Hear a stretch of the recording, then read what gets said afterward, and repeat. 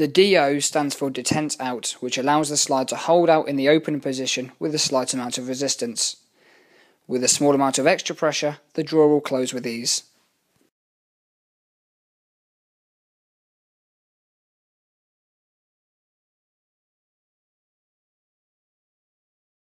This is the DZ3832-0025DO in detail.